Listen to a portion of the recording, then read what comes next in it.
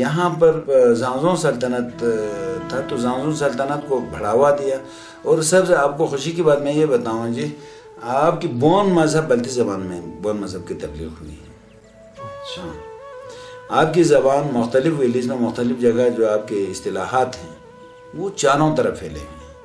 اس کی بنیادی وجہ جو یہ زبان بولی تھا چھوٹی سی محدود لیکن جب بون مذہب کی تبلیغ اس کے اندر سے ہوا تو یہ زبان ہر طرف پہنچی۔ خاص طور پر تون پشانب کے چھ شاگرد تھے یا ان کی شاگردوں کے شاگرد تھے، چھ ایسے شاگرد تھے جو انہوں نے بون مذہب کو اپنے اپنے زبانوں میں ترجمے کیا۔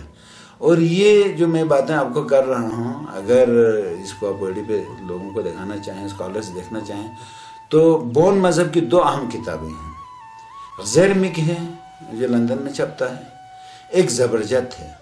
یہ دونوں کتابیں بون مذہب کی بہت مستند کتابیں ہیں۔ یہ تمام واقعات آپ کو ان دو کتابوں سے ملے گا اور آپ کو ایک اور میں گزارش کروں، گرودہ ویلی۔ یہ مذہب جہاں سے پھیلا، وہ گرودہ ویلی تھا۔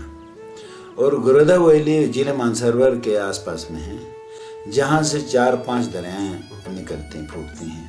برہم پترا گنگا، جمنا، ستلج اور دریائے سندھ۔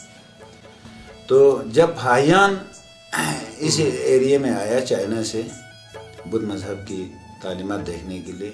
اس وقت وہ کیپٹل وہاں موجود تھا۔ اگر آپ بھائیان کی سفر نامہ پڑھیں گے تو آپ کو گرودا ویلی ملے گا، بڑے تفصیل سے ملے گا۔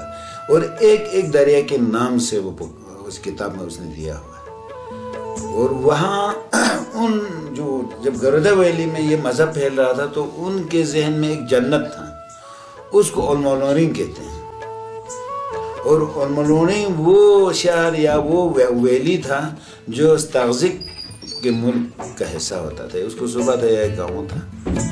تو قدیم بون اور بدھسٹ اس تاریخ کو مٹا کے کہتے ہیں یہ تاجکستان ہے۔ سینٹرل ایشیا سے ہے استغزک لفظ استغزک سے۔ بہت سارے لوگوں نے اس تاغذی سے تاجک مراد لیا ہے اور تونپا شانرب کو لکھائی میں ان لوگوں نے تونپا شنرب لکھا ہے۔ اب میں آپ کو زبان کے اندر میں اس کی تفصیل میں نہیں جاؤں گا۔ شیانگ کو آپ انڈو یورپین یا انڈو آرین زبان میں لفظ شیانگ نہیں لکھ سکتا، تا نہیں لکھ سکتا، نہ پروننس کر سکتا، نہ لکھ سکتے ہیں ٹھیک ہے نا جی؟ کیونکہ یہ یہاں کی بلتی زبان کی، آپ کی جس کو ہم بدھک زبان کہتے ہیں، اس کی خصوصیات ہیں۔ فونیٹیکلی یا ساؤنڈ سسٹم میں ہم چائنا سے ملتے ہیں۔ ویکیبلری میں ہم Altaic language, group of language سے ملتے ہیں۔ اور اس وقت ہمارے زبان میں بہت سارے الفاظ عربی، فارسی اور سنسکرتک آئے ہیں۔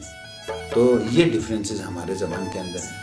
ہوا یہ زانزوں سلطنت ہے زانزوں سلطنت سے ایک تو آپ کی بلتی زبان کو فروغ ملا اور دوسرا بون مذہب کو۔ بون تو پہلے تھا۔ کیسر کے جو امد میں جو مذہب تھا، وہ ہر طرف پھیلے تھے۔ اس کو اولڈ بون کہتے ہیں۔ پرانا بون۔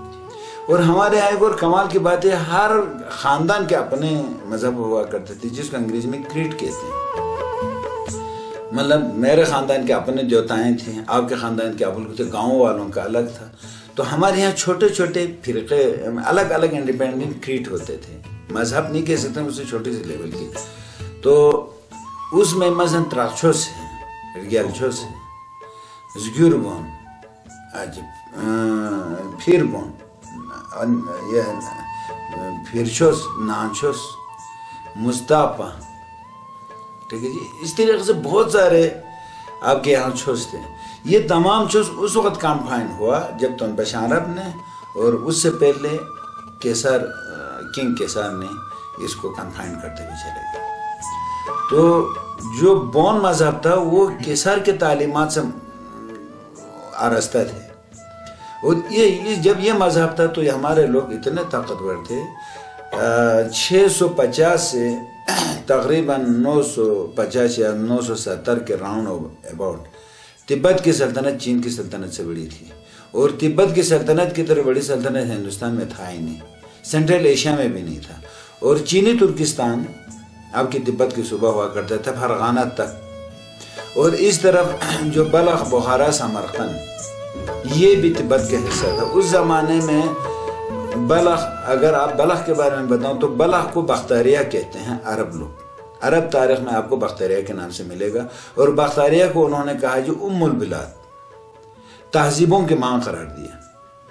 اور بلخ وہ جگہ ہے جس کا جس کا قدیم نام رکھا جی تخرستان بلخ کو تخرستان کہتا تھا اور آج کل یہ افغانستان کا حصہ ہے۔ یہ وزیر آباد کے نام سے جانتے ہیں۔ آج کل اگر آپ افغانستان کے نقشے پر دیکھیں گے تو اس کو وزیر آباد کہے گا۔ تو بلخ بلخ آپ کی تبت کے ریاست کا حصہ ہوتا تھا۔ جب انہوں نے، یہ آپ کی خزمپ نے چین کی جو بادشاہ کی بیٹی اور نیپال کے بادشاہ کی بیٹی اس کو بریکوتی کے نام سے پکارتے ہیں۔ ان کا وانچوں ہے یا پتہ نہیں اس طریقے سے نام ہے۔ میں چین کی یاد نہیں ہے۔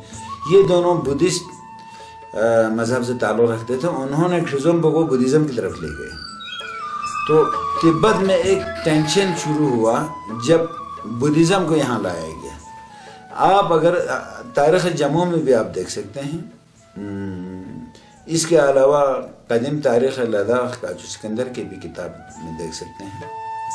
لیکن کاچو سکندر نے تو ان عرب میں وہ چونکہ لفظ شن، انہوں نے شن رب لکھا ہے۔ تو لفظ شن کی وجہ سے اس نے اس کو شین نسل سے ڈکلیئر کی۔ چونکہ کاجو سکندر خود کا اپنے نسلی تعلق وہاں سے ہے، تو اس نے کوشش کی ہے تو عرب کی۔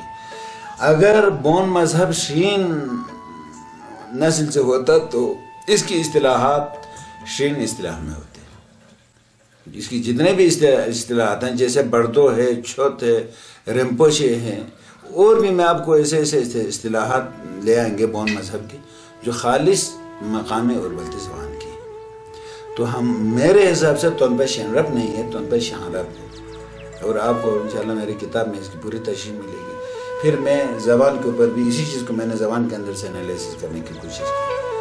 تو ہوا یہ جناب، جب توبو سلطنت نے اس علاقے پر قبضہ کیا، امدو کو بھی قبضہ کیا، زانزوں کو بھی قبضہ کر کے کھم میں شامل کیا۔ کھم الگ ریاست ہوا کرتا تھا جس کا کیپٹل لہٰذا ہے۔ اور یہ سب جب اس کے قبضے میں آیا تو انہوں نے اپنے خاندان کے نام سے توبو، ان کے خاندان کا نام تھا، انہوں نے پورے پلیٹوں کو تبت قرار دیا۔